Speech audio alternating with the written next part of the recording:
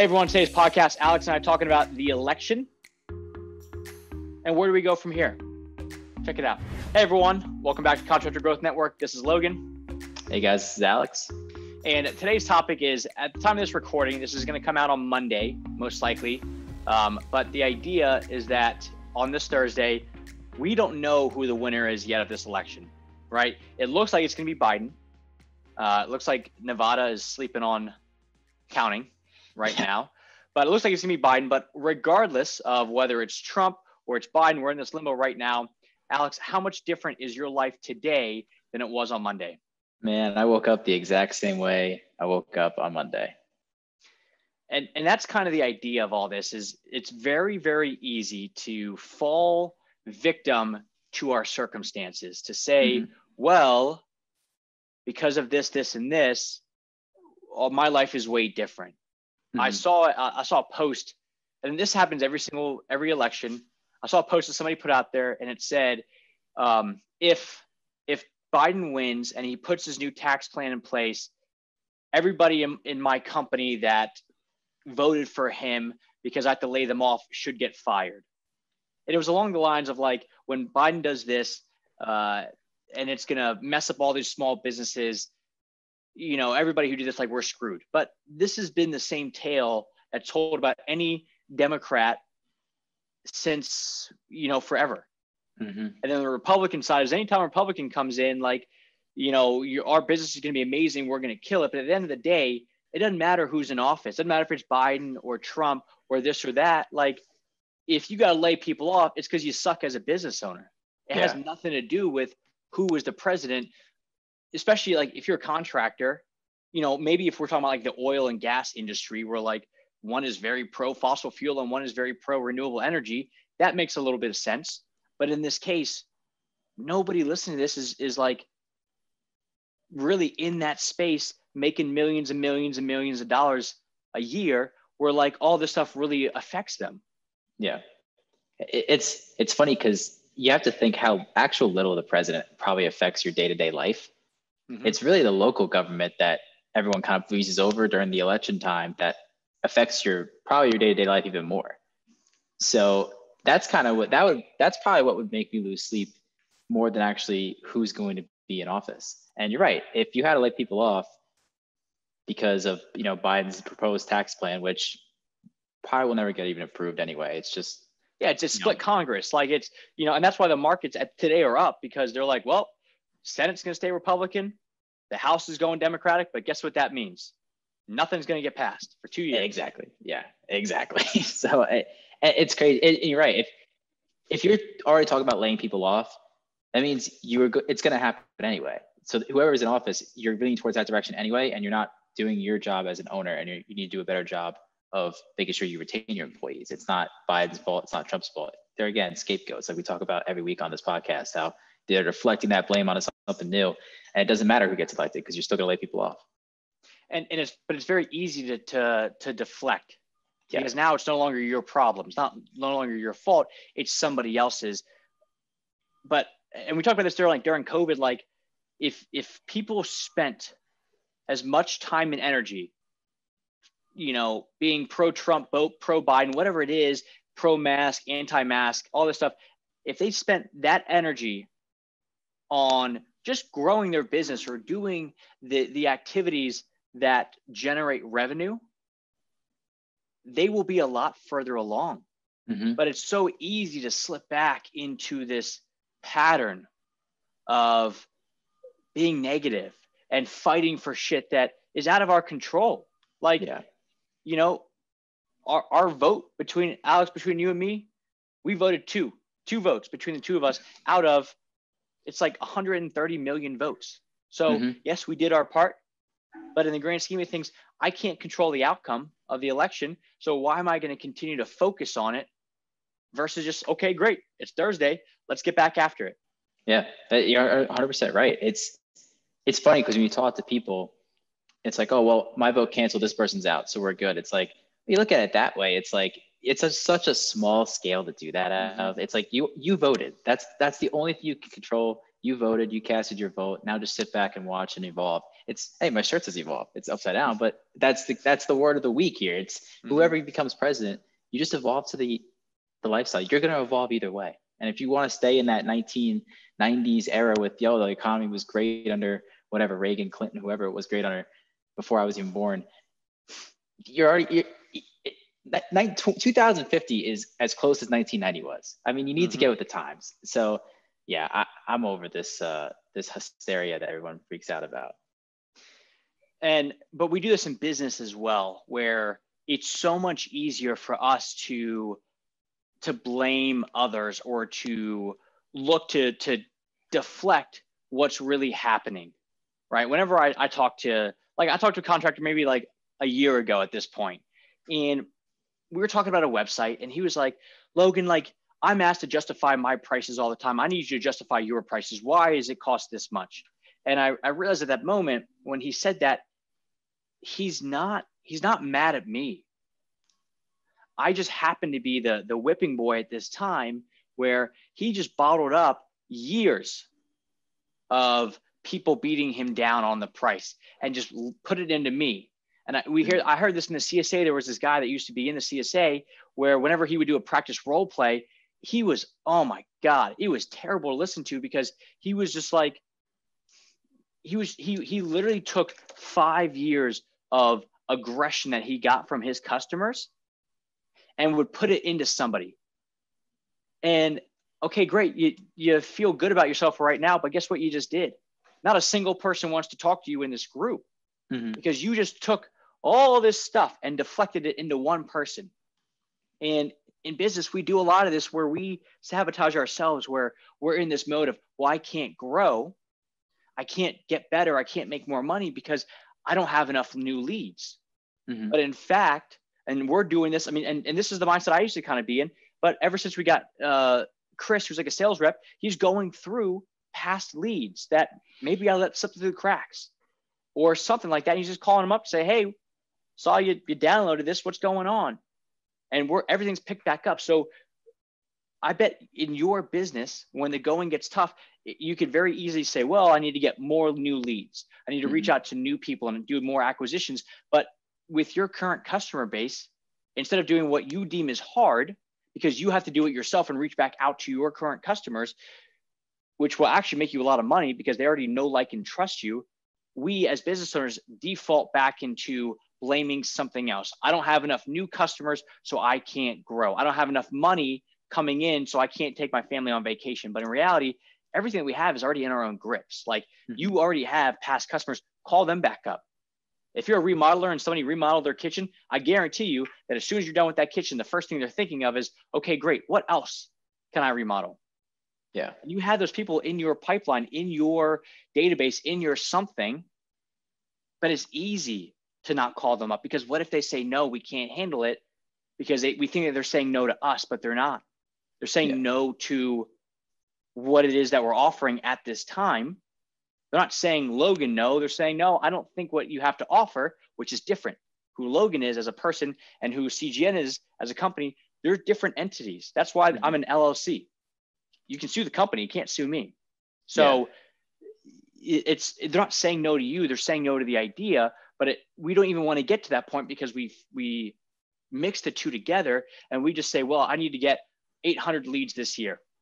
I need 800 new people this year to make the money that I need to make. When in reality, you may only need hundred because you've already got enough people in your database that you can reach out to, and it's golden. Yeah. So do you think that you know most contractors they deflect because they're afraid of rejection, and that's like the number one reason? Everybody is a, hates rejection. Nobody likes it. Mm-hmm. I everybody who I talk to that says I'm not afraid of rejection is somebody who has never been rejected every single person. And I hear this, oh yeah, I don't, I'll go knocking on doors. I'll do it. And I'm like, great, then go fucking do it. Mm-hmm. Oh, well, I will when it's like, whoa, whoa, whoa, whoa, whoa. When what? Yeah. You will when when what? Because that's what that's what happens is everybody hates rejection. So what they would rather do is they would rather go out and find new people and quote unquote get rejected by them and then either blame the system or whatever it is, but they don't have a personal relationship with that person. It's like you get rejected by somebody you don't know who they are, and it's easier versus a past customer that you call up and they say no because you already have a relationship built up with them and you don't want to quote unquote mess that up mm-hmm. even though they already bought they bought from you once they like you call them back up but it's very easy to go out and and deflect and say well it's somebody else's thing when in reality you have enough at your grasp at your disposal to make this happen if you want to make it happen mm-hmm. you got to get over yourself and for me that was tough for me to like calling people up like it, i mean i'm going to be honest like it's it's very easy for me to to to like stop doing the things that make money because i'm like whoa i got to run the company. Like i don't have time to call up these past people. So i hired a salesman and he's yeah. doing it. He gets paid when he does it. So it's like his his literal job is to do this. And as a result he makes money. I make money. And the client gets way better and way further along in business and life and whatever it is that they want simply because somebody else kept in and uh, stepped in and said, I want, you know, I, I can help you. And everybody, they want this human connection. They like, we all, we all rely on marketing to do all the heavy, like 100% of the heavy lifting for us. Mm-hmm. Like it can do a lot. But at some point, you need to get on the phone and just talk to a human. Yeah. And say, hey, look, I see you downloaded this you've been kind of looking at our stuff for a while. What's going on? And they're like, you know what? I'm thinking about remodeling my kitchen. I'm glad you called. That's all I really want. Yeah. It seems so simple to like just reach out to your past customers or reach out to old leads that didn't work out months ago and you know see if see what's the update. It seems so simple. I, it kind of baffles me that that's not an avenue. That's not the first thing people go to. It's always they need new, new, exciting, new leads. It's like, are you afraid that you messed it up so bad the first time? Then what's what's the fear right. of going back the second time? And you know, yeah, I mean, you've been in that position before, so I mean, it, it's interesting that it's it seems like the easiest thing, but why it, why is it so? The, why is it the hardest thing for business owners and contractors to to do? Because it's it's it's the hard thing to do. Even though it's the easiest thing to do, it's the hard thing to do mentally. Mm-hmm. To potentially be vulnerable, to put the ownership on us versus you know just going out and, and spending a bunch of money on new things it's so easy yeah. just to go out and, and hire a new company and go well this didn't work well this didn't work and it's just like yeah but like you you know home advisors in a class action lawsuit mm-hmm. you know they are yet when you brought them in paid them, you know, a few hundred bucks and it got you nothing. You go, well, homeowner, home, home advisor sucks. Yeah. You knew that going into it, yet you, you wanted a reason. Like you didn't want to actually make this thing happen. You wanted to validate your own conviction around it that they suck. So a lot of times we do shit to prove, hey, this can't work. And then at the end of it, we go, yeah, that didn't work. And I wasted all this money because humans inherently love complaining. We love to complain about stuff because it's just like what like we talked about this on the last podcast or one of the podcasts before, depending on when this one comes out. It's like you bond over bad weather more than you bond over good weather because it's just easier. You know, mm-hmm. it's just it's it's more bonding to complain about shit. So you go out, you hire this other company, it doesn't work, and then you go, well, they sucked, versus doing the little things on your own that will actually move the needle but nobody wants to do the the hard sex the hard stuff. It's not sexy. They want yeah. to do the easy stuff that is sexy that may or may not work because it's a gamble.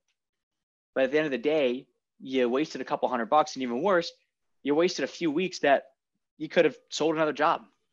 Yeah, it's and it's funny because those situations are the exact situations of why they took that same risk of being going into business and why they left their former company to go start their own business. I mean, for a bunch of other reasons, but the main one is you took that's a big risk. So with all these little things in the business, it's funny they don't want to take that risk of calling back past customers or you know they they know home advisor sucks, but they didn't want to take the risk of hiring out to a different marketing company that maybe not as nationally known or something like that. And it's kind of funny how as soon as they take that initial risk, it's now okay. Now let's play conservative, which in some instances is correct, but like you already took the risks. You have that gene. Just go with it. Go with that feeling. Mm-hmm yeah and, and as you guys are listening to this just just be aware that this is not like i'm not the master of like this. And out like there's even times Alex puts you on the hot seat where I'm like, hey, just call this client. And you're like, mm-hmm. well, I texted him yesterday, and I'm like, just call him up right now. Mm-hmm. And this is it's and, and so we all deal with it and we still all continuously deal with it. So it's not like we are this high top of the soapbox, like, oh, you need to do this and, and we do everything perfectly. Because like again, the only people that say that they're not afraid of rejection are those that have never been rejected before. Yeah. And in fact, they're actually really afraid of rejection, which is why they never put themselves in a situation to become rejected. Yeah. It's that it's that old saying, it's like people some people are better at just giving advice and following their own. And a lot of times you can analyze things better from just a third person party, but when it's in your shoes, mm-hmm. you think the same way everybody else does. And that's why that's why it we're in we're all in the same boat and we're just looking at it from different experiences. Yeah, I, I think it's uh, I think it's Scott Adams who's uh, the one that did he he created Dilbert, but I think it's his quote, and it's something along the lines of like everybody is so good at solving everyone else's issues to the point where if you came to me with my own issues and you presented it as your own, I would be able to tell you how to solve it like that. Mm-hmm. And we all know it. So think about your issues. If you're listening to this, think about what you could fix. And if somebody else came to you and said, These are my issues, you would most likely have a solution for just about everything that they say. But as soon as it's your own, it's a different ballgame. This is, you know, well, it's not because of this, it's because of the president that's in office right now. It's not because of this, it's because, you know, it's bad weather. And I'm now starting like, and I understand there's certain like in the contracting space, like there are seasonal businesses, landscaping, like you can't really dig in the ground when it's frozen, mm-hmm. right? Remodeling, they don't really want you in the house if it's Thanksgiving and Christmas, right? Yeah. But this whole idea of like it's seasonal, it may be ha- you know, half true with the circumstance, but also half mindset of, well, nobody's buying in the wintertime. So let me dial everything back. And because mm-hmm. you dial everything back, nobody knows that you exist. And when nobody mm-hmm. knows that you exist, they can't hire you. So it's the it's the self-fulfilling prophecy of when you lead into it, you say, well, it's not going to work. And let me prove that it doesn't work. So with the home advisor example, well, it's not going to work because of this, this, and this. And I'm going to waste a bunch of money, but I'm going to do it anyway. Well, you go into it with that idea. Like we had a, a sales guy on Monday, one of the guys that uh, uh, we parted ways. And I asked him, I was like, how are you feeling about all this stuff? Like you, you've been here for a month. What do you think? And he was like, you know what? I haven't really given up yet. And I was like, all right, well, I'm going to be honest with you. The fact that you said that, you, it seems like you've given up. So we can either wait another week of seeing if this is the right fit, or we can go ahead and rip the band-aid off right now. Mm-hmm. And he was like, okay that's fair. And I was like, okay, cool. And that was it. Like, like nice dude, really great. Just didn't, you know, just didn't work out on, on you know, both ends. But like when he leaned into like, I'm not, I haven't given up on it yet. I was like, yes, you have. Like yeah. you, you know, you, you just don't want to do the hard thing of saying, yeah, this is not working. Mm-hmm. And we went our separate ways. And I'm sure he's way happier. We're good. Like it, it all worked out. Yeah. Odds are, I've learned that odds are you're feeling that gut feeling you get or that that little voice in your head is right. And just like that, oh, I'm not ready to give up yet. It's because you second guess, you, you overthink it, and you're like, okay, you gotta give it another week or so, and you know maybe I'll click it. But if it hasn't clicked in the month. That one week really, what's that gonna really do? If you're not, if you already think you haven't quit, quit yet, it's like, oh, I, am almost there. That's the other way. Then maybe mm-hmm. the week works. But if you're, I haven't quit, uh, haven't quit quad. I keep wanting to say quad, quit yet. then yeah, it, it's yeah, I agree. Strip that band-aid off. And it happens to a lot of things in life. You can apply that to. Yeah. So with the whole, regardless of who's in office, regardless of what the weather is to a certain extent, like, you know, I, I taught, I went to this conference a few weeks ago and we talked about what happened during COVID. And I told him, I said, like, I, I felt bad when I was talking to other business owners who were like telling me about like their horror stories of, yeah, you know, we're, we're, we're way shut down and we're not making any money and this and that. And when they would ask me how I'm doing, I felt bad saying we're actually growing. We're, we're, we're picking up steam during all of this. So I would say, yeah, you know, we're, we're doing all right. We're holding our own, stuff like that, mm-hmm. which is so stupid. And, and when I told the, the, some of the people at this conference, they were like, we're in the same boat. They were a, um, like a, a health company yeah, like a like a you know doctor's office stuff like that. All those companies like during COVID uh, got you know they went down in revenue, and they were like, yeah, we grew big time. And I was like, why? And they said, first off, Logan, like with you growing, like yes, it's it's some circumstance that you're in a online industry, mm-hmm. like, but they're also it's it's the mindset going into it. Like, what did you do when COVID hit? And I was like, actually, funny enough, I called all of all of our clients and said, there's never going to be a better time than right now to do social media. You want to talk about adding this on? And they're like, exactly, that's mm-hmm. exactly it. So it's not the circumstance, Logan. It's the fact that you did this. And they're like, with us in our healthcare business, we were already thinking telemedicine is the future. So the fact that when this thing started, we already had everything in place because we were already forward thinking, knowing what's going on. Yeah. So yes, it's part circumstance, but it's the mindset of of having somebody who's always forward thinking. And we now see like with restaurants, those that had these delivery services already set up beforehand, mm-hmm. they were good. Yeah. They, I mean, because they're forward thinking. It's the mindset of like always being on the the cutting edge versus the the companies that took two months to figure out how to set up an online thing. They just lost out on two months of revenue. Yeah. Yeah. Yeah. 100% right. It, that's a good way to put it because I, I always thought, you know, oh, you know, online company, that's always going to thrive, you know, because unless the whole internet in the world crashes, you know, what's going to happen? But you're right. It's the positive thinking. And you look back at my personal life, the, the people that were thinking so negative and were the, you know, feel sorry for me. I, I got laid off or this, or this and that, you know, they're still struggling and it's nine months later. And, you know, the world moves on. The world is moving on.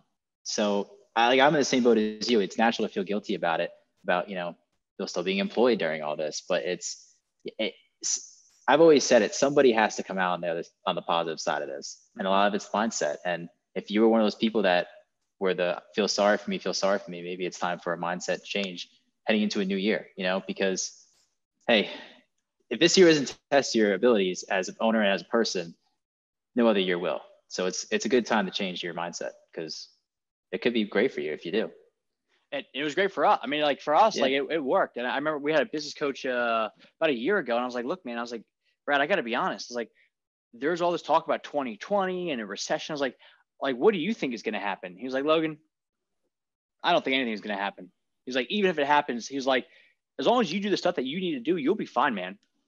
And then I mm-hmm. talked to another business coach afterwards, just like as like a meet and greet thing. And he was like, yeah, all these all these uh, construction companies, they're screwed. They have no idea what's coming to them. Um, this and that. So it was two very completely different ways. And and my business coach was more on. Um, I loved working with him because he was good for the business stuff, but he was even better for for Logan and my biology and like how do I think, what am I eat, like just like a holistic view. And like he's big on like the energy stuff.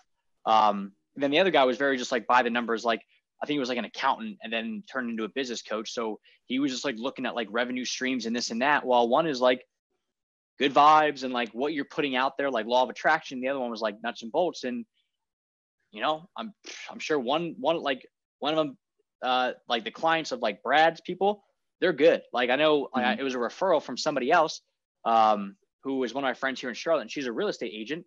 Well, she's like I think she's the largest like Keller Williams firm in the country. Wow. Like she absolutely kills it.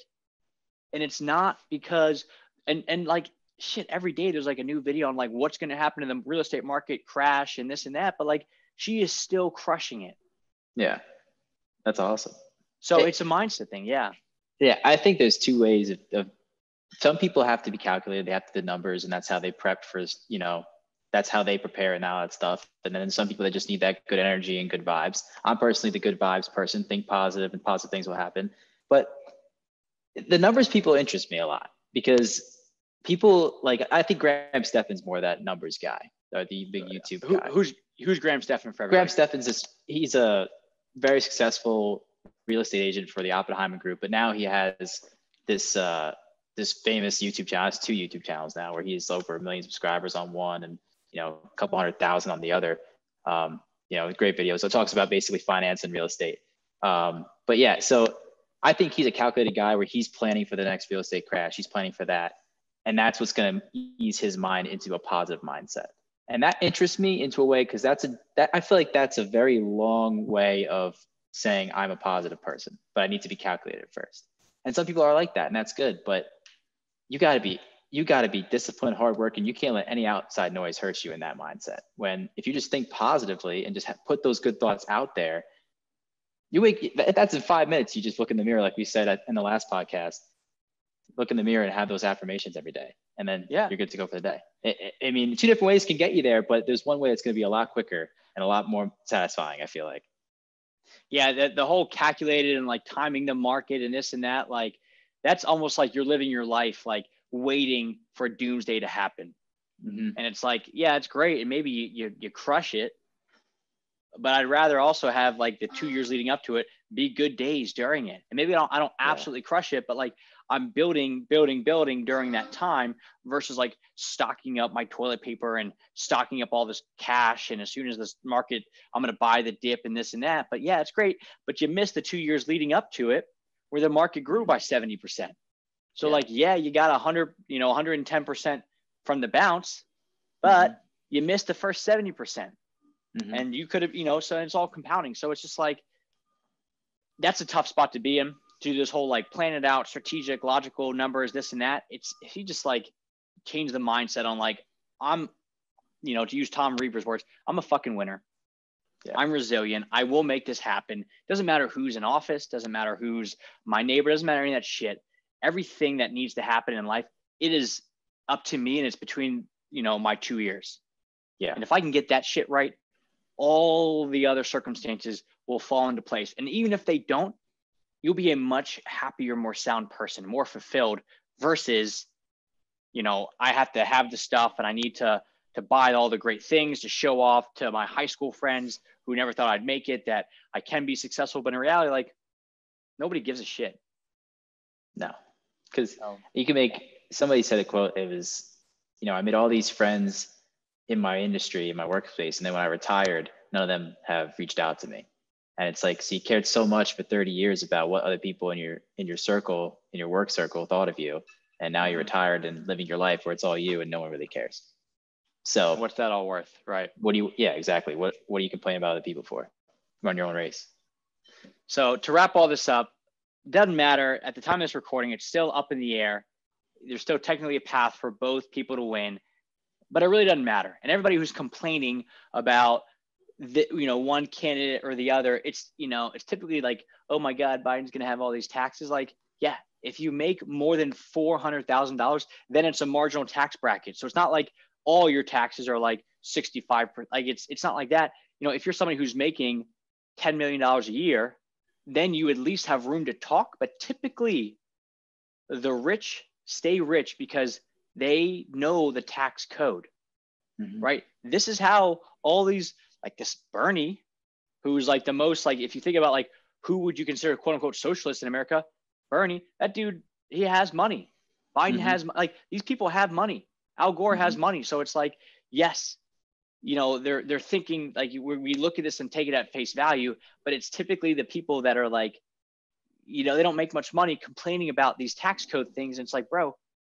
you got to focus on your own shit 1st you mm-hmm. You're not even close to. Yeah you know to, to being at this level and then yeah. once you do get to this level guess what you can hire people that know the tax code for you this is this is why i fucking love my accountant and dean because mm-hmm. Is amazing at this stuff. Adine focuses on on um, high earn like it's like high earning small business owners, and he just goes really deep into this topic. And this is who he can help because he knows all the little loopholes and all the the gray area and stuff that's like totally legal, but you get to actually pay less in tax. So yes, you're making a lot of money, but guess what? When you get to that point, this is why the rich stay rich. It's not an accident.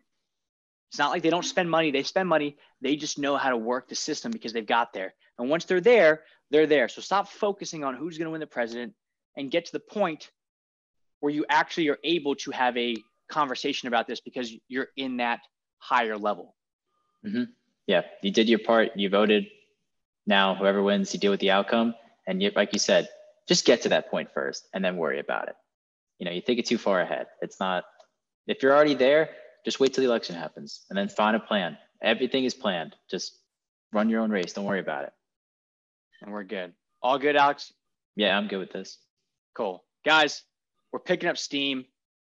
What we're doing is it's awesome. Contractorgrowthnetwork.com. Check it out. This shit, it changes lives. CGN.com. There you go.